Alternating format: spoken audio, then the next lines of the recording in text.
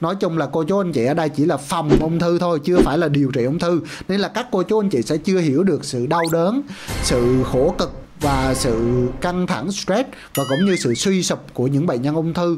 Nó rất là thương tâm nó rất là đau đớn.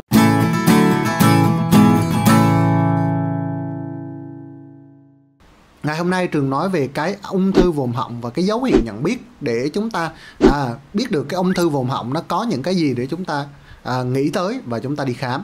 Cái ung thư vùng họng thì thường đa số trường hợp đó là cái ung thư biểu mô và nó nằm ở cái vùng à, họng gần với cái mũi á. Ừ, giữa cái vùng họng của miệng và vùng mà mũi lẫn có cái vòm của cái họng. Và khi có cái vòm của họng chỗ này là cái vị trí mà cái ung thư vòm họng nó hay gặp.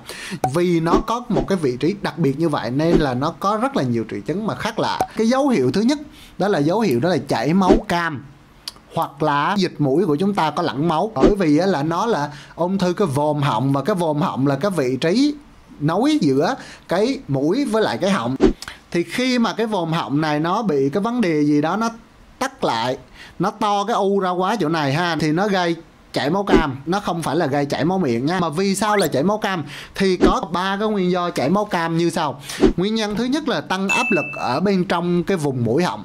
Khi mà nó tăng áp lực ở cái vùng bên trong vùng mũi họng á, thì cái mạch máu ở đó nó sung huyết lên, nhất là những cái hệ tĩnh mạch nó sung lên, nó căng lên, nó căng lên và cái thành mạch nó yếu đi, thì nó gây vỡ cái thành mạch và nó gây chảy máu cam cái nguyên nhân thứ hai đó là chính cái ung thư mà trường đăng chiếu lên màn hình đây, nó sẽ hoại tử.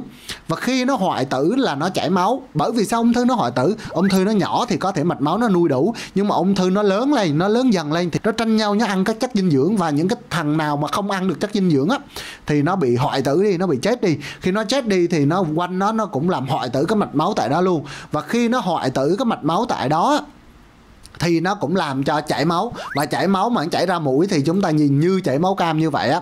Cái nguyên nhân thứ ba đó là nó thay đổi cái niêm mạc mũi, chính cái ung thư ở đằng sau vùng họng. Nó làm thay đổi cái niêm mạc mũi. Và khi thay đổi cái niêm mạc mũi á, nó dễ gây chảy máu hơn. Thì nó gây chảy máu cam ra. Cái dấu hiệu thứ hai đó là khạc đàm ra máu. Giai đoạn mà nó chảy máu cam hoặc là nó hư cái niêm mạc mũi hoặc là chính nó hoại tử trong tế bào này. À, chảy cái máu xuống bề dưới họng. Và khi cái máu nó chảy xuống dưới họng á mà khi chúng ta nó bị kích thích tạo ra đàm á thì chính cái đàm nó cũng có lẫn máu.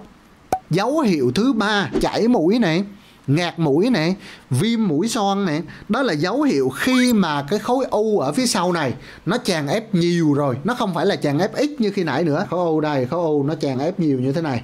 Là nó không còn nằm khu trú ở phía sau vùng hầu họng nữa mà nó chèn ép cái mũi cái đường thở của chúng ta luôn. Thì nó làm cho cái chúng ta luôn luôn có cảm giác là chảy mũi này ngạt mũi này viêm mũi son này khi mà khối u tràn ép.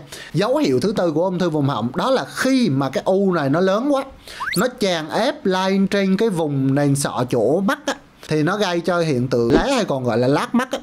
hiện tượng nhìn mờ. Hiện tượng đó là rối loạn cái vận động của con mắt. À, chúng ta sẽ không có vận động hết cái tầm của con mắt được. Chúng ta không thể liếc qua hết cả được liếc qua hết cả được nhìn lên nhìn xuống hết cả được. Bởi vì nó bị tràn ép lên nó tác động vào cái cơ á. Người ta gọi là giới hạn vận nhãn.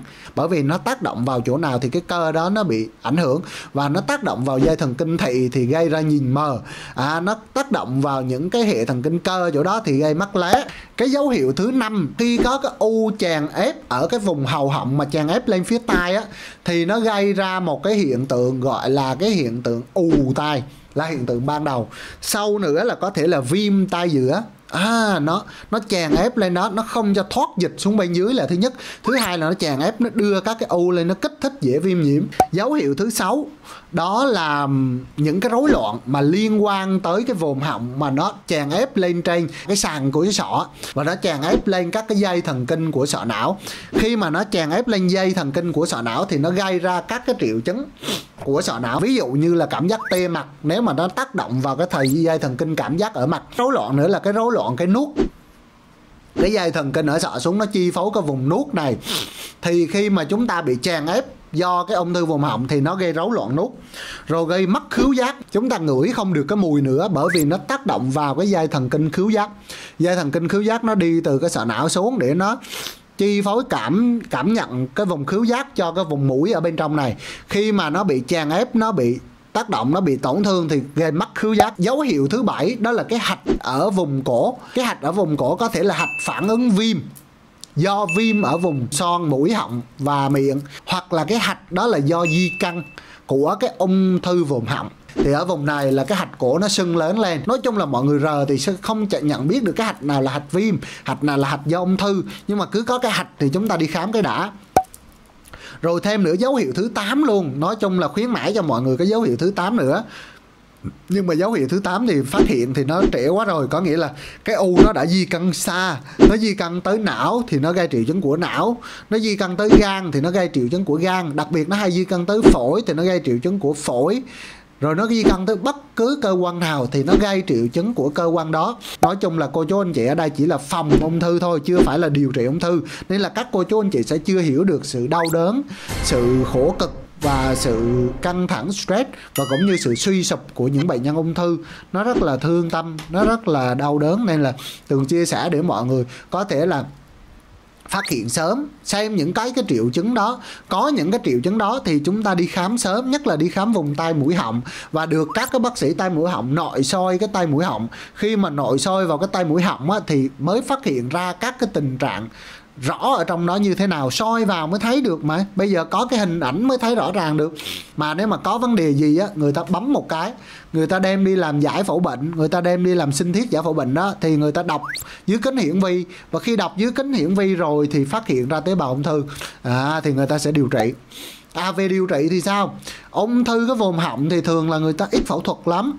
Theo trường hỏi mấy anh chị ở bên khoa tai mũi họng á thì anh chị nói là không có phẫu thuật. Ở cái vùng này á, thì người ta phẫu thuật nó cực kỳ khó. Muốn phẫu thuật thì cũng phải là phẫu thuật nội soi. Đưa các cái đầu nội soi vào phẫu thuật nó rất là tốn kém.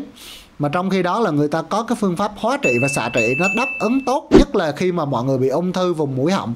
Nó mà giai đoạn đầu, giai đoạn sớm.